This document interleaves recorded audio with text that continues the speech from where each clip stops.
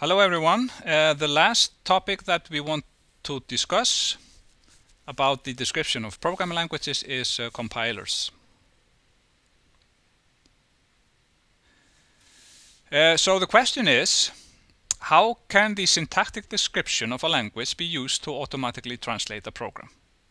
So for example, how can the syntactic description in the form of a context-free grammar be used to automatically translate a program? Well, we can do this by using a compiler. So what is a compiler? Well, a compiler is a program that uh, takes uh, a program written in some source language and uh, generates another program written in the object language. And a compiler uh, comp uh, comprises a series of different phases or modules. And these different modules they start with the string uh, representing the program in the source language, and then they generate various internal intermediate representations until finally we have a string in the object language.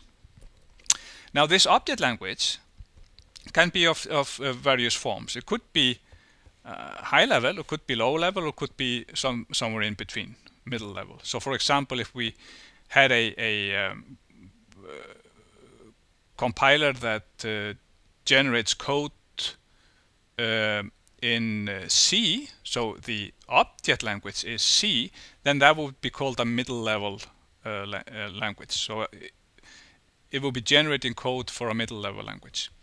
Uh,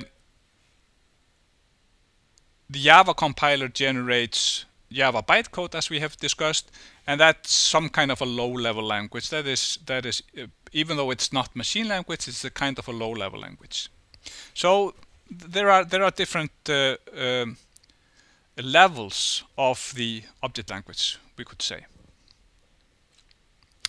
And here is a um, list uh, of the various components of uh, or the various phases of a compiler. So at the very top we have a source program. The source program is the program that uh, the compiler takes as input and the purpose is to uh, translate the source program finally to object code. That's the output of the compiler. So in the first part we have something that is called lexical analysis and we will actually discuss each of these various phases uh, in a minute. But uh, the, the, the uh, function of the lexical ana analysis is to identify, identify the tokens in the source program. Uh, the syntactic analysis or the parser takes then the list of tokens and tries to build the parse tree or the derivation tree. Uh, then the semantic component takes over, which uh, verifies the contextual syntactic constraints as we have discussed. And basically augments the derivation tree, means it puts extra information to the parse tree about the about the uh, a, a kind of a semantic information into the into the parse tree. Then the parse tree can be used to generate intermediate form, and then we could perform some optimizations on the intermediate form. Optimizations on the code that are not really dependent on the underlying hardware, but something that can uh, uh, still be optimized just by looking at the intermediate code itself. And then finally there's a code generation phase in which uh, uh, the code for the underlying machine is, is uh, generated and we might do some optimizations on the on the uh, uh, code there as well, which are then dependent on the underlying hardware. And notice also here that uh, there's a separate module here called symbol table, which um, many of the individual phases of the compiler need or communicate with. And uh, in the symbol table, we uh, record various symbols that are used in the program. Symbols meaning uh, names of variables, names of functions, uh, and there we have information about, uh, we can store there what are the types of the variables, what are the number of parameters and the types uh, that are declared for, for functions, and so on.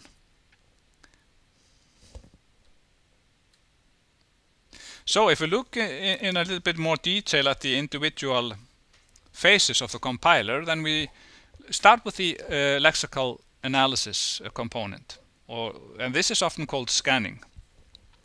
So what is the purpose here?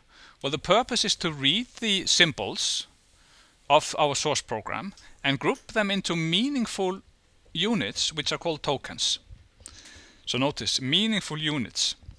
So if we take an example here, the string uh, x is equal to 1 plus foo plus plus. This will produce seven tokens. We have the identifier x, that is a meaningful unit. We have the assignment operator. We have the number 1 here. We have the addition operator plus.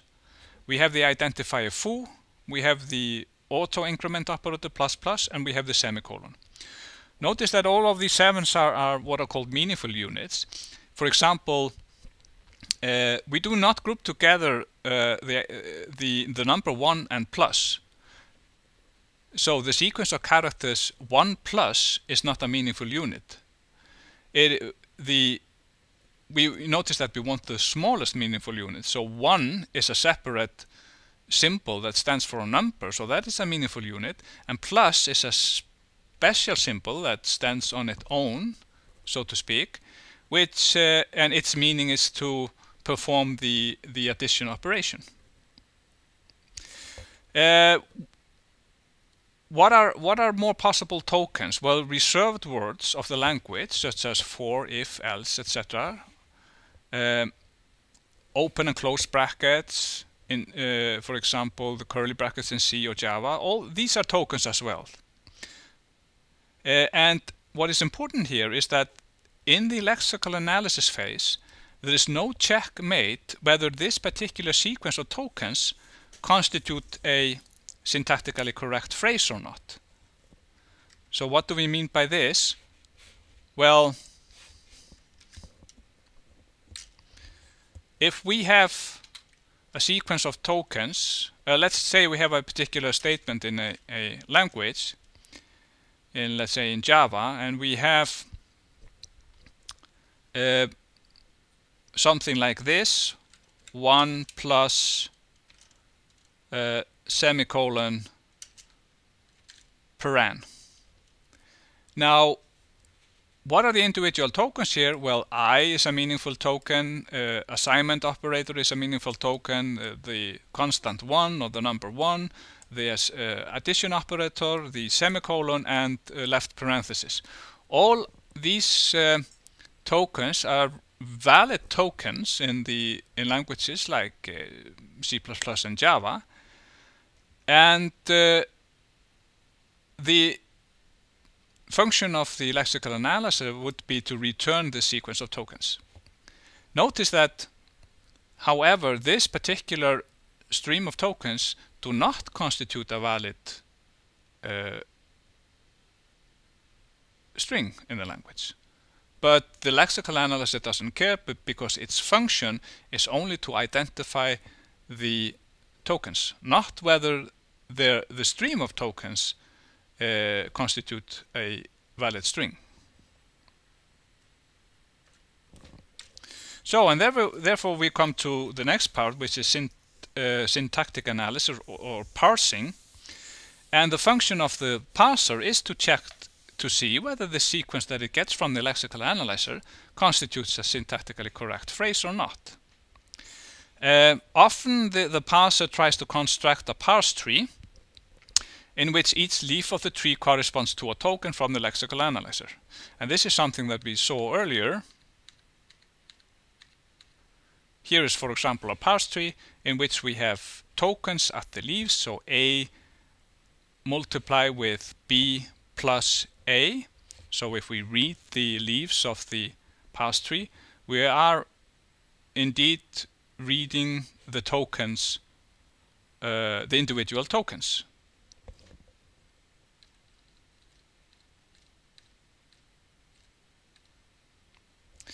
Now, if, a, if a tree cannot be constructed for a particular string, then we have a syntax error.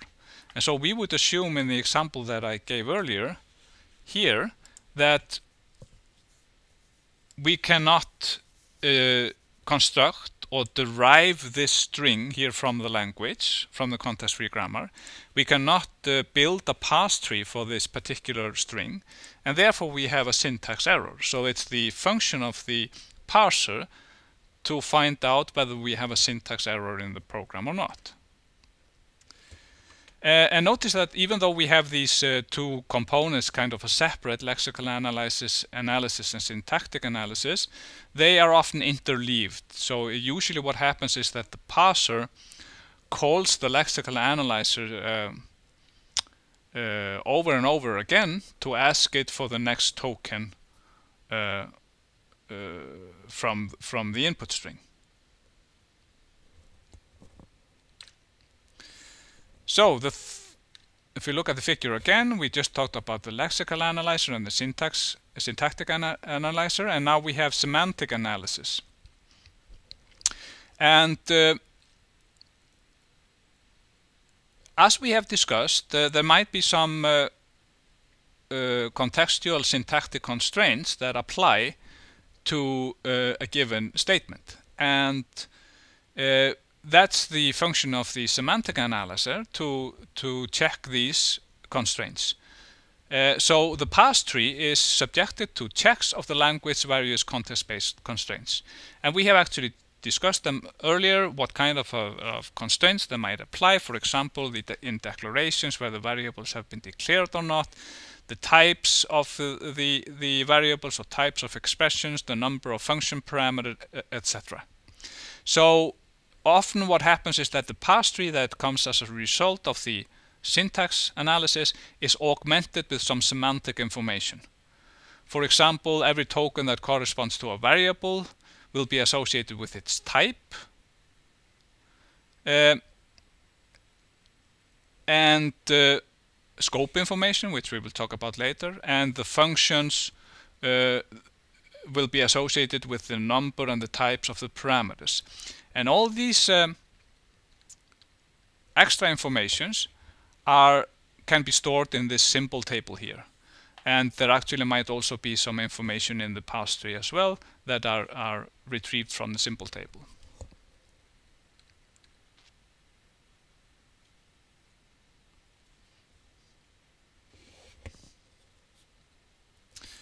Now, if we go back to our figure, semantic analysis, we just discussed that one. Then we have generation of intermediate form, then optimization, and then finally code generation.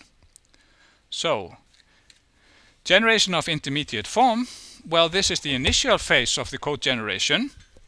Um, but often instead of generating the uh, underlying machine code, we generate some kind of an intermediate code. And we have seen and discussed examples of this, for example, um, as opposed to uh, uh, generating uh, code for an underlying machine, Java generates intermediate code. And even though a compiler generates uh, a code for the underlying machine, it might actually generate intermediate code first. Uh, and do some optimizations on, the intermediate code. So we are saying that there, there are many optimizations left to do and they are independent on the specific object language. Uh, a compiler is actually often implemented to generate code for a whole series of object languages.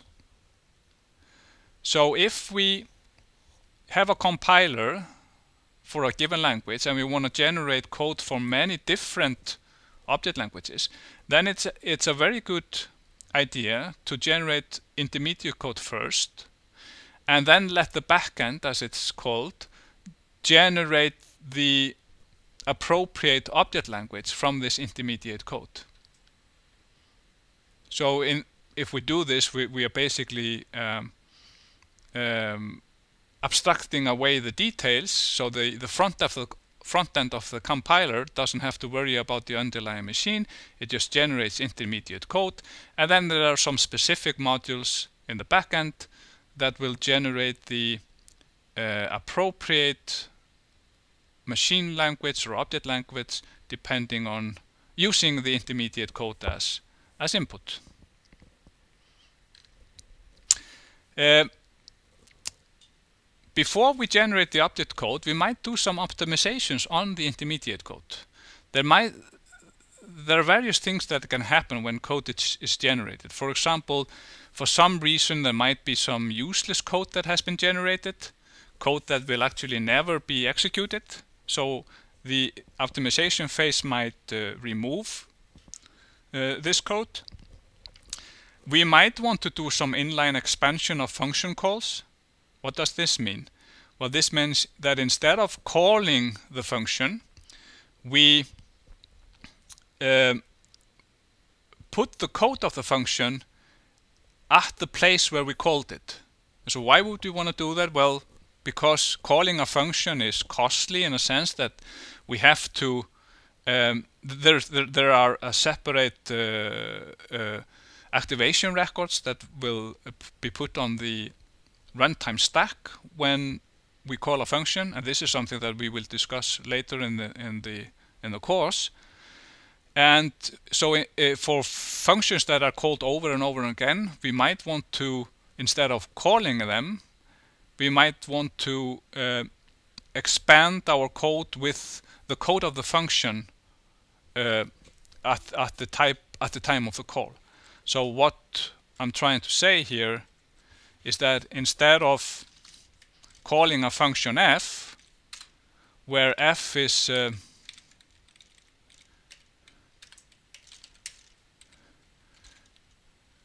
declared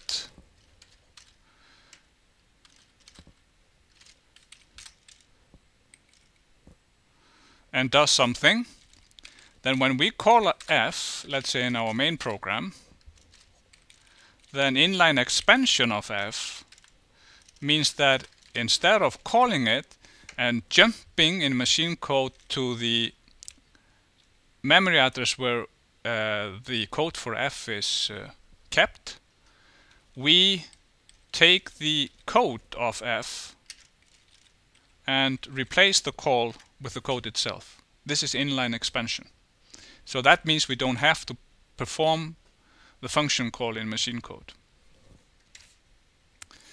Uh, sub-expression factorization, sometimes what happens is that in expressions we are computing the same value maybe twice. This could happen in where we have something like x is equal to 2 divided by 4 plus i minus 2 divided by uh, 4. It's a strange example here, but this something similar to this could happen actually. And here we're basically computing the same value twice in the expression, and we the compiler might uh, um, optimize this so this would only be uh, computed once. This value 2 divided by 4. And uh, on the loops, there are some uh, optimizations that um, might be carried out. Uh, um, among these are, are uh, for example, removing some statements from inside the loop whose value uh, remains constant during uh, different iterations. So we would we would not compute that value over and over again because it's a constant value. And uh, let's say we have a loop like this.